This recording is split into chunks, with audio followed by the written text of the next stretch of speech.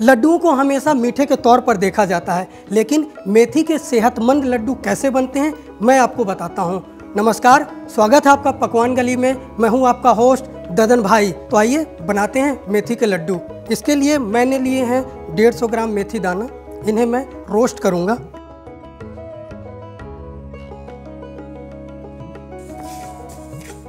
कई लोग मेथी के लड्डू बनाते वक्त इन्हें दूध में भिगो कर रखते हैं रात भर पाँच छः घंटे तक। जिससे इनकी कड़वाहट चली जाए। लेकिन मैं जिस तरीके से बना रहा हूँ, उस पर भी मेथी के जो लड्डू हैं, उनका स्वाद कड़वा नहीं होगा। तो मेथी दाने बढ़िया तरीके से भून चुके हैं। मैं इन्हें एक प्लेट पे निकाल लेता हूँ। प्लेट पर निकाल लिया ये।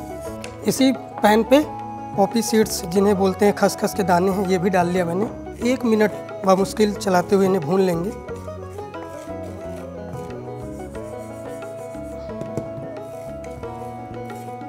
तो ये खसखस के दाने मैंने भून लिए हैं, इन्हें भी कटोरी में निकाल लेते हैं। अब जो पैन है, उस पर डालते हैं घी। एक कटोरी घी ली है। जैसे ही घी गर्म हो जाएगी, मैं इस पर गोंद डालकर भूनूँगा और फिर उन्हें निकाल लेंगे।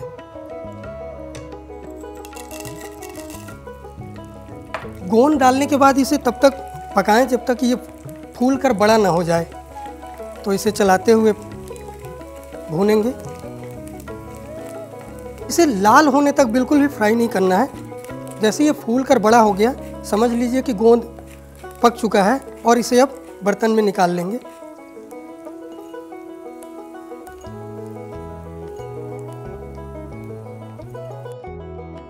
गोंद भूनने के बाद अब बारी है मेथी दानों को पीसने की। तो इन्हें मिक्सर ग्राइंडर जार में डाल लिया है और हम इन्हें बारीक पीस लेंगे।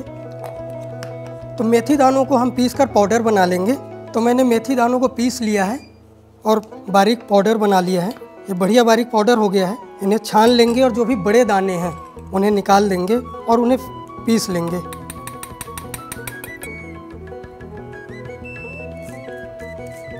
तो ये मैंने पाउडर छान लिया है। तो ये मेथी पाउडर बिल्कुल रेडी है।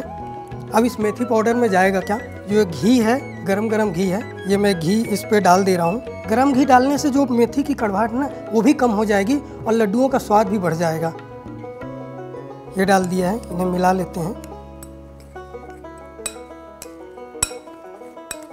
गोंद है, गोंद को भी क्रश कर लेते हैं। ग्राइंडर में डालकर हल्का सा पीस लेते हैं। आप चाहें तो बेलन से इन्हें दबाकर कूट भी सकते हैं। मैं इन्हें मिक्सर ग्राइंडर में क्रश कर रहा हूँ। गोंद को भी पीस लिया है और इसे भी दरदरा पीसा हुआ है। ज़्यादा गर्म गोंद ना पीसें नहीं तो ये हल्के से आ, पेस्ट भी हो सकता है। चाहे तो कूट लें उस पर बढ़िया रहेगा। तो गोंद और जो मेथी पाउडर है वो बढ़िया तरीके से मिक्स कर लिया है। अब हम बनाते हैं चाशनी। तो इसके लिए डेढ़ सौ ग्राम गुड़ लिया है।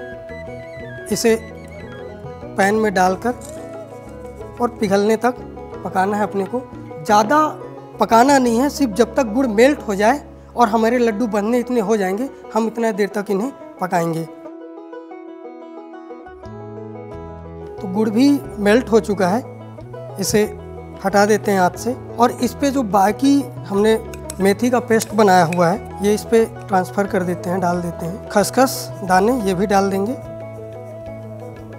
डाल देंगे। पिस्ता है, एक चौथाई कटोरी बारीक काट लिए हैं। काजू, ये भी एक चौथाई कटोरी है, छोटे टुकड़ों में काट लिया है। बादाम है, इन्हें चार से पाँच घंटे तक पानी में भिगो कर रखा था, छील लिया है और इन्हें भी बारीक टुकड़ों में काट कर इस पर मिला दे रहे हैं। थोड़े से इलायची दाने। एक चौथाई छोटी कटोरी में किशमिश। सारी चीज़ों को डालकर अच्छी तरीके से मिला लेते हैं। गरम है तो इस चीज़ का ध्यान रखें।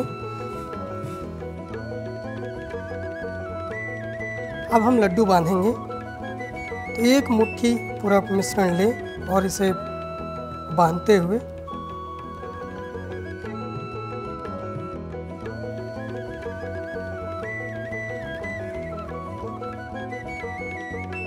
इसी तरीके से आप भी मेथी दाने के लड्डू बना लीजिए और मुझे बताइएगा कि आपको ये रेसिपी कैसी लगी। अगर पसंद आए तो वीडियो को लाइक, कमेंट और शेयर भी कीजिएगा।